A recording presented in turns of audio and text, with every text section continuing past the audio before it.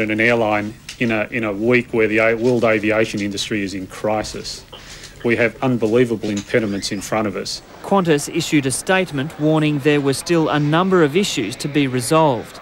The administrator also announced that two regional airlines servicing Eastern Australia would restart tomorrow. Hazelton will operate flights to four New South Wales communities thanks to a $3 million loan from the New South Wales Government. Aero Pelican will recommence flights to Newcastle, and there's optimism SkyWest in Western Australia could be airborne again soon. In Queensland, Virgin Blue is negotiating for Flight West planes to service regional routes. Unions welcome the news. The administrator is continuing negotiations with more than 200 parties over the sale of all or part of Ansett. Joe O'Brien, ABC News. The Ansett collapse and the government's promise to meet workers' entitlements has resulted in a new scheme to protect all Australian workers. Employment Minister Tony Abbott says the general scheme will protect all leave and pay entitlements up to an income cap of $75,000. The changes come as unions prepare to rally at airports tomorrow in support of sacked Ansett staff. Without jobs and missing their last pay packet, sacked catering staff vented their anger in Sydney. Tomorrow they'll be joined by thousands of union members staging rallies at airports around Australia. These are not stop work meetings. They are community rallies in support of the Ansett workers and their family. But with air services still chaotic, the Prime Minister's warned the ACTU not to make the situation any worse. The government's still smarting over Tuesday's clash in Canberra when ministers were stopped from speaking at a union rally for Ansett workers.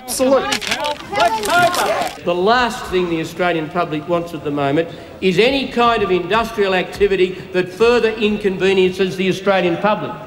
And I ask the Leader of the Opposition to unconditionally join me in issuing that request to the ACTU. But it's a request Kim Beazley won't be making, confident flights won't be disrupted by tomorrow's actions. And he's accused the government of having a hide, lecturing workers when it's been complicit in Ansett's downfall.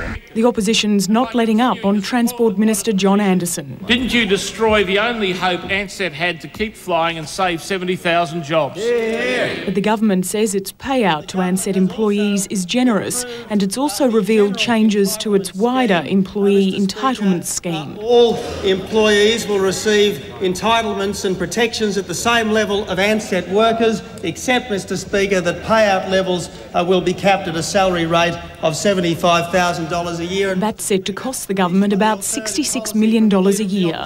Lisa Miller, ABC News, Canberra. A meeting of hundreds of Islamic clerics has just broken up in the Afghan capital Kabul, and after two days of talks, they've decided not to give up Osama bin Laden. However, they want the alleged terrorist to leave the country of his own accord. In neighbouring Pakistan, the government is treading a dangerous path. President Musharraf has addressed his nation on television to confirm support for US retaliation and to explain why it's necessary. But as ABC correspondent Jonathan Harley reports, that's put him in conflict with thousands of Pakistanis. As radical Islamic activists intensified their protests against US attacks in Afghanistan, General Pervez Musharraf trying to soothe tempers.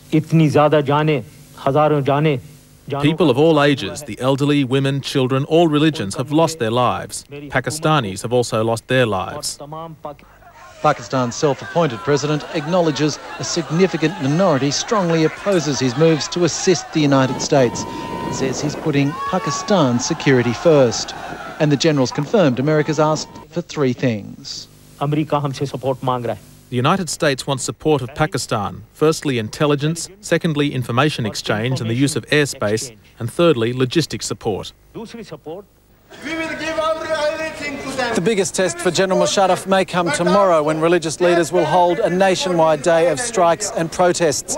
Since he came to power two years ago, he's banned political rallies and it's feared that a showdown between protesters and authorities could be inevitable. Others warn of taking up arms. Ishaq Gilani led a Mujahideen faction against Soviet forces throughout the 1980s. Then he was backed by the United States. Now, in exile in Pakistan, he claims to have a million men ready to return to Afghanistan to fight his Cold War ally. Another jihad. Against yes. another superpower? Uh, yeah, sure, sure. And they, they're proud uh, on, on one jihad, they, they destroy one superpower. As people flee, religious leaders in the Afghan capital have been deciding what to do with Osama bin Laden. In so doing, they may be deciding the future of the Taliban regime itself. Jonathan Harley, ABC News, Peshawar. Well, our correspondent now joins us on the uh, line by phone. Jonathan, the clerics are playing this a little bit each way. That's right, Tony. They've said that Osama bin Laden should leave, but only if he does so by his own accord. And yet, at the same time, it's hardly giving a rock solid endorsement of the Saudi dissident, who also happens to be a very close friend of Supreme Leader Osama bin Laden and an important financial backer of the Taliban over the years. So it will be compelling in the coming days to see which way it goes, whether Osama bin Laden takes up uh, the offer, and of course, where he could go. There are not many places in the world that would be happy to have him. Jonathan, on the subject of General uh, Pervez Musharraf, does he have general widespread public support? After all, he's self appointed to the position. That will be the big test for him in the coming days, particularly tomorrow with this national day of protest and rallies organised by religious leaders.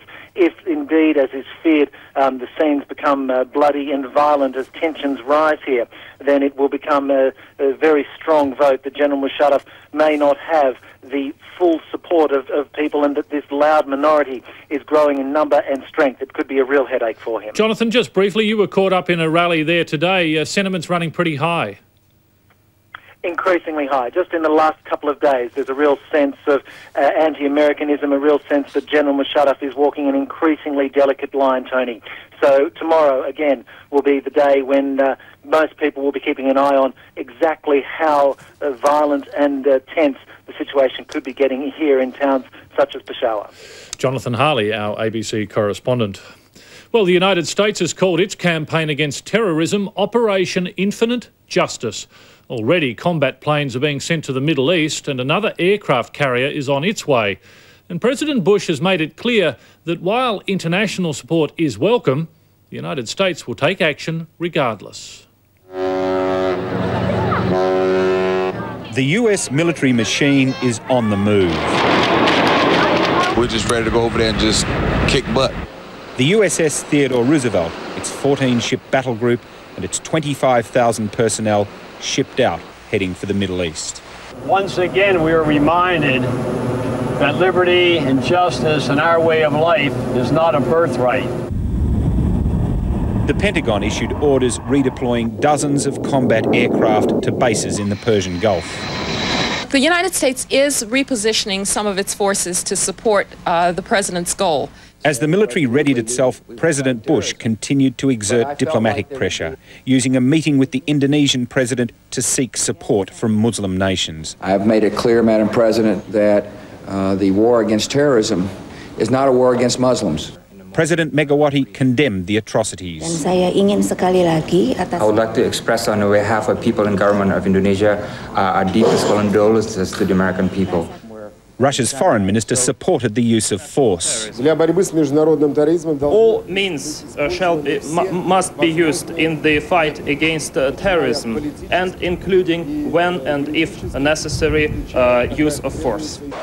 But in the end, the US is determined to strike back, whatever comes of the diplomatic moves. We'll do what we need to do.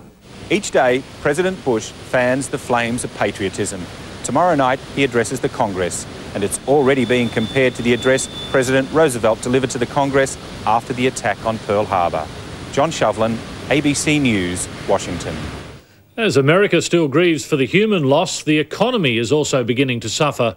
The threat of war and fear of flying has worsened the existing downturn, with tens of thousands of people losing their jobs. From New York, the ABC's Michael Brissenden reports. As America continues to build an international coalition against terrorism, Jacques Chirac, the French president, became the first foreign leader to tour the Ground Zero site. Like all the French people, which has been uh, terribly shocked and traumatized by uh, what happened here. Well over 5,000 people are still listed as missing, but the confirmed death toll is just 218. Many of them are firefighters. Engine 54 fire station was the worst hit. The station lost 15 of its firefighters. It's now become one of the many shrines of lower Manhattan. So all you can do is tell them you're praying for them, give them a hug, and it helps out. Just show them love.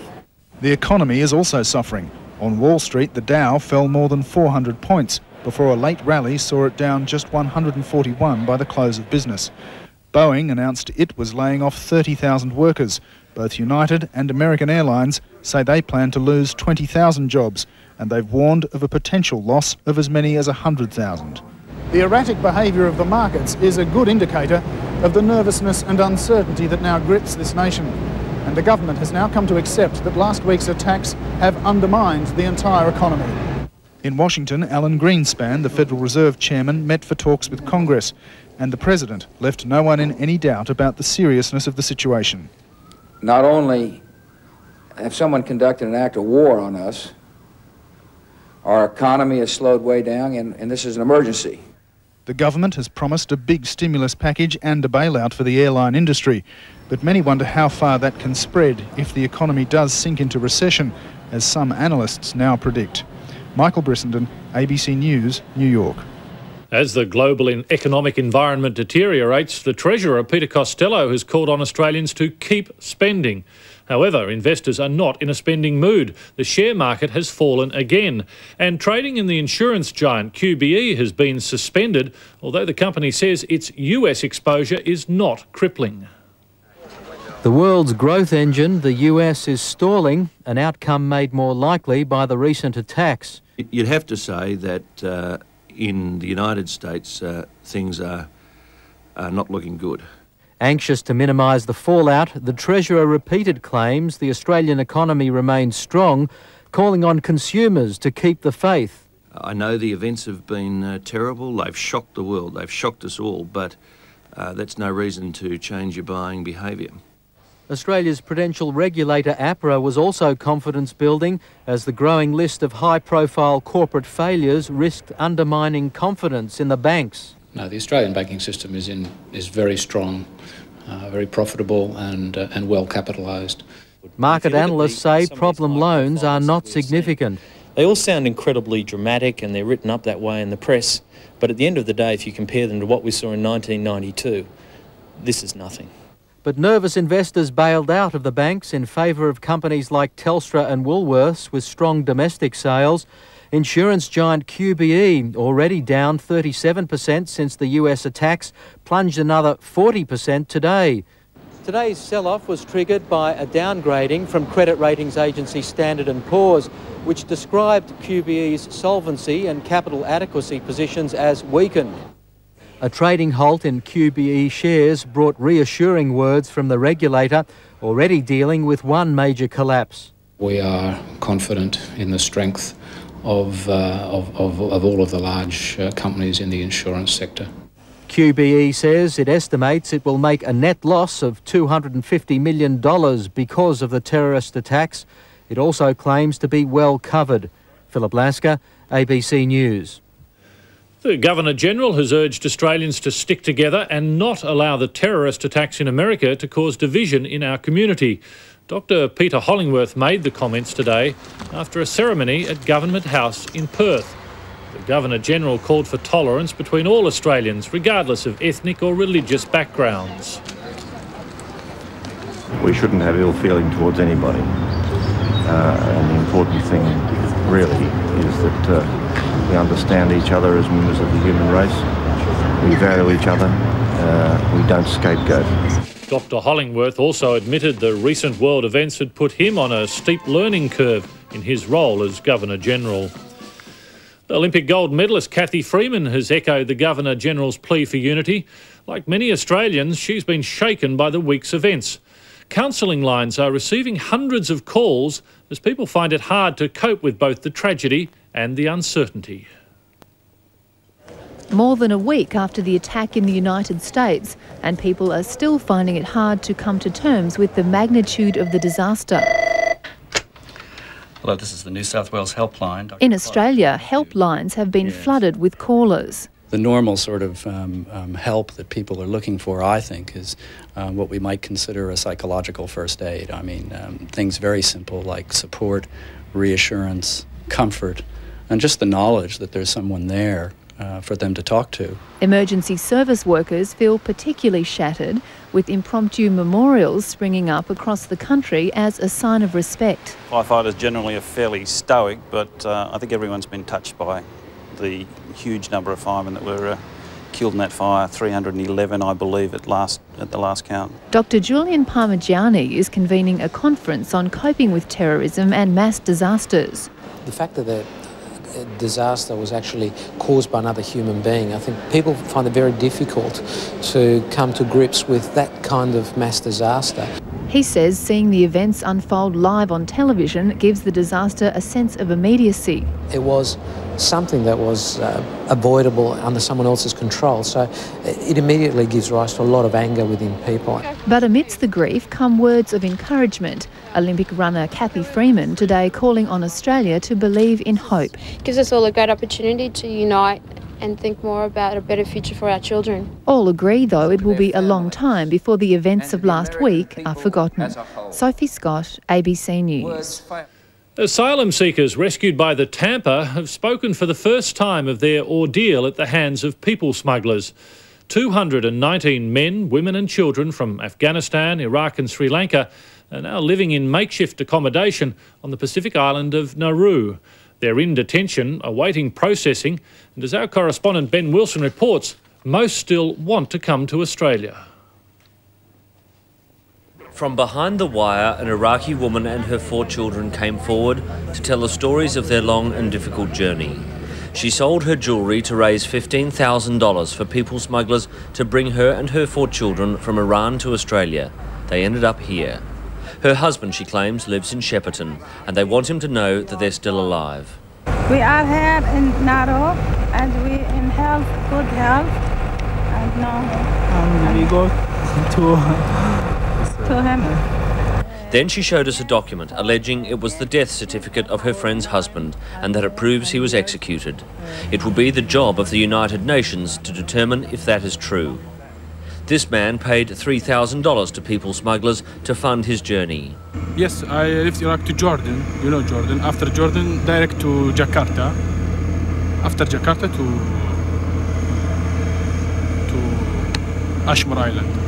The authorities say the identities of the asylum seekers should not be revealed. Just by appearing in the media, they say could give rise to a legitimate claim for asylum. This man, rescued by the Tampa off Christmas Island, says he wants to thank the captain for saving his life. The captain who was uh, who rescued us, we are thankful from him that he rescued our life, and uh, it was a kind, a good kindness of him on us. All conversations through the fence are closely watched by private security guards. But elsewhere, camp life routines are already being established, a game of soccer and seeking out shade. Another 119 people left the HMAS Manoora today, this man bearing a message that the federal government will be eager to hear. Bad people, smugglers, they, are, they don't think about your, our lives, just they think about the money and Authorities in Nauru are now eager to complete the disembarkation of the Manoora and bring the campsite up to full operating capacity as quickly as possible. Formal applications for asylum are expected to be processed from Monday. Ben Wilson, ABC News, Nauru. Now, Phil Lasker with Finance News and Phil Mining Company Pasminco, the latest problem for our banks. Yes, Tony, banks are counting their losses tonight after administrators moved in to try to salvage the company. It's got debts of nearly $3 billion. The administrators say Pasminco will continue all its operations for now, but are already planning to sell some of its mines. As Pasminco moved into voluntary administration, the banks were counting their costs. The company owes $2.9 billion to a banking syndicate, including Australia's top four. The Commonwealth Bank is hardest hit with a debt burden of $400 million. But mining and smelting operations will continue as administrators try to get cash back into the company. When you go into administration, what it means is that your creditors can't uh, step in and start claiming their debts, you get a bit of a breather to continue. Pasminco is the world's largest producer of lead and zinc with mines and smelters in Queensland, South Australia, New South Wales, Victoria and Tasmania. workers at the Risdon smelter met the news with caution. Most of the workers be worried about would be entitlements, I think you'll find. The administrators say the majority of workers will stay with the company and entitlements will be met. The company has significant assets, out of which the employees, in fact, have a first priority. $300 million has been secured to keep operations going until the end of next year. The administrators deny there will be a fire sale, but are committed to selling both the Century and Broken Hill mines. They concede other operations may also be offloaded. The collapse is being blamed on record low metal prices, a lack of confidence in financial markets, and a poor Australian dollar affecting currency hedging contracts. But the federal opposition blames economic policy. All of this is a product of this government's economic management. This government halved the Australian growth rate with their obsession with their never ever GST. Shares dipped to 5 cents yesterday before trading was indefinitely suspended. Melissa Aston Welbury, ABC News, Melbourne. Now to details of another black day for share investors.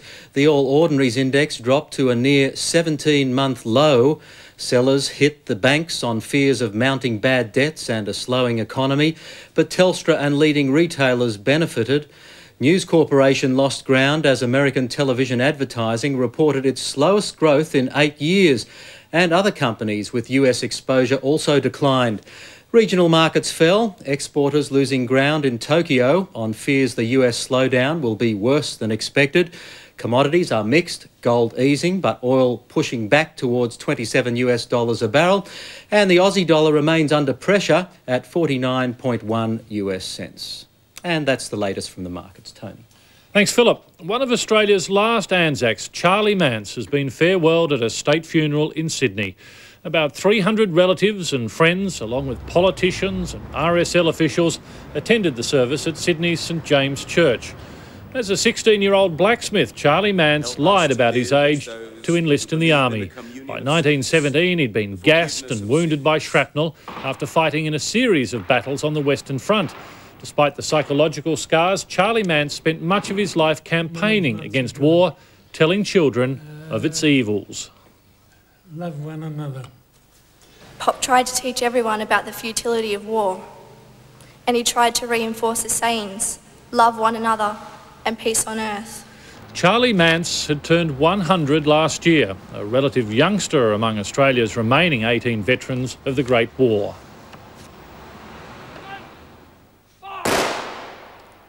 A gun carriage transported his body across the Anzac Bridge and onto Rookwood Crematorium.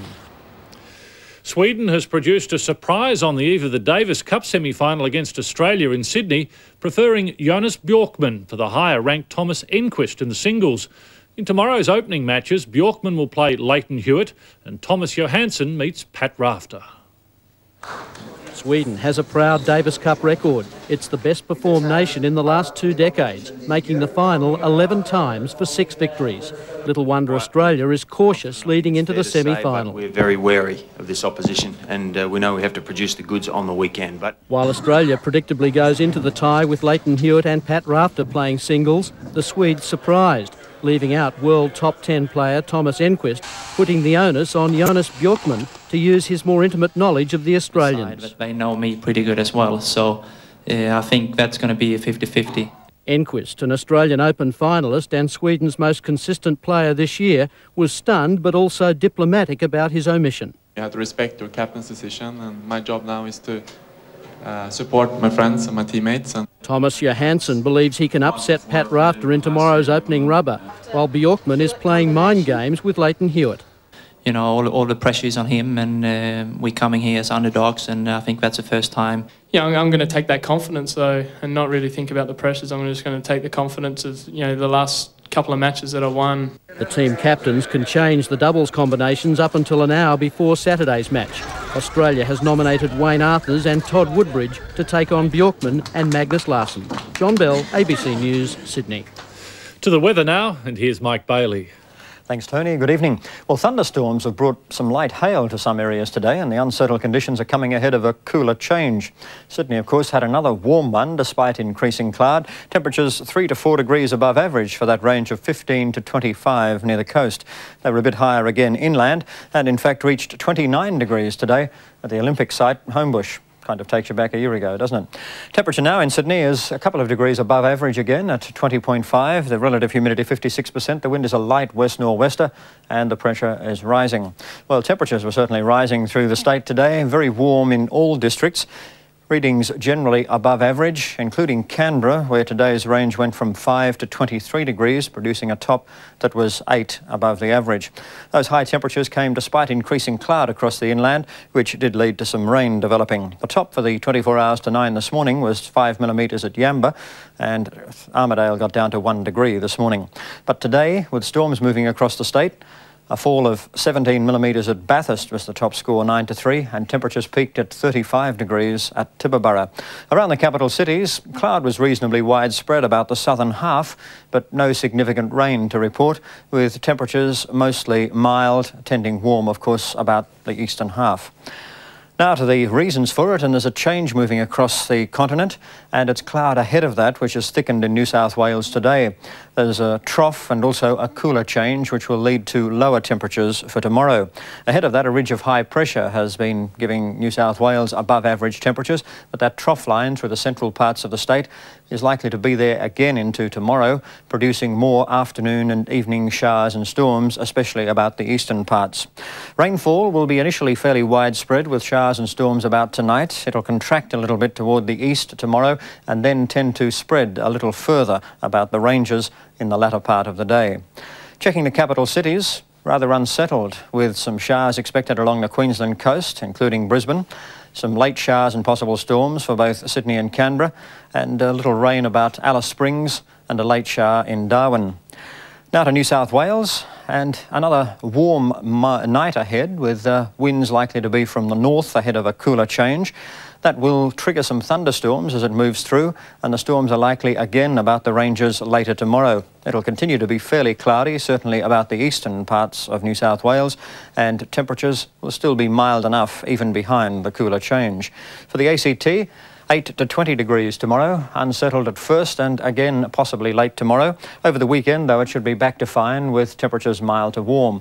In the Sydney area, north to northwesterly winds freshening ahead of that southerly change overnight, 16 to 21 near the coast, tops of 22 inland and some storms likely about the western suburbs tomorrow. Sunrise is at 5.47 in the morning, the first high tide 1.7 metres and the further outlook for Sydney back to fine for the weekend. Tony. Thanks, Mike. And that's the latest from ABC News. We'll leave you tonight with an Australian show of support and sympathy for the victims of last week's attacks. 15,000 people filling the Tennis Centre in Melbourne today for a multi faith service. I'm Tony Eastley. Good night. decided to